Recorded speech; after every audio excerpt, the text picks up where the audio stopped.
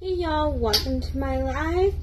Today is Monday and we are going to be making some meatball subs. I saw the recipe and I asked my husband if it was any good.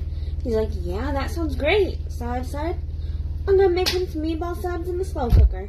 Y'all ready? Recipe is in the description below. If you do not see it, shoot me a message. I'll be more than happy to send it to you. Let's get started. First, you're going to take your meatballs. I got some with caramelized onions.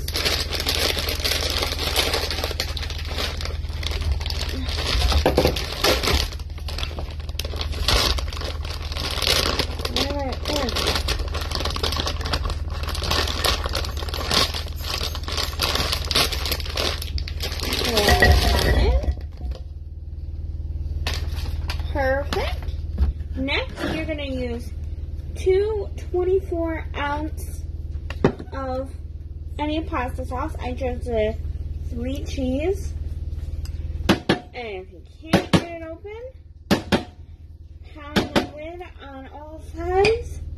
It'll come right up. One.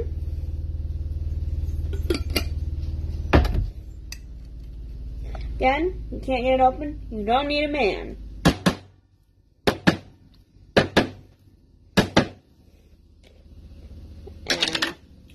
Pour that right on in. Perfect. Next, we are going to use some garlic.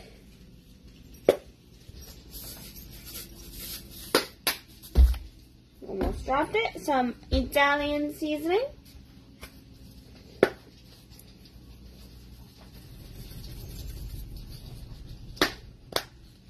And finally, we are going to add some onion powder. And that is all for this recipe. Hi, Patricia. You are going to either cook this on high for three hours, or you could cook it on low for five. I will be cooking it on low for five hours. After that, you put it Something I learned online is if you put the cheese down and then your protein, it'll help with the sogginess of the bread. I don't know if that really works. We're going to try that out tonight.